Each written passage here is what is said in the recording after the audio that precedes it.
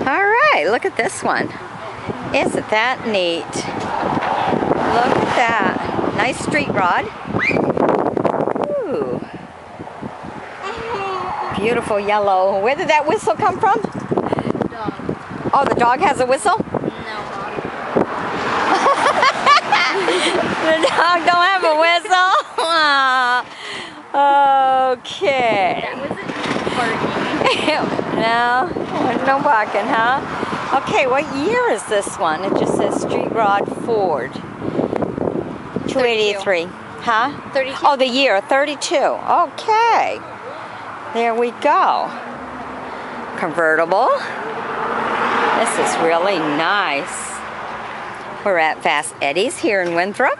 This is the fourth year. Yeah. Oh, pretty. Can get right in there. So everybody can see what's in there. Huh, Kara? Kara's getting used to watching car shows with me now. She goes with me all over the place. Yeah, Chevrolet. Wow.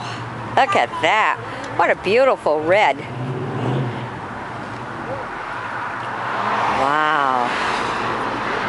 Nice I like convertible. I know. It's like it's really big. It's nice. 283 engine. Wow. Look at that. Can you imagine the money that's in these So cars? clean and shiny.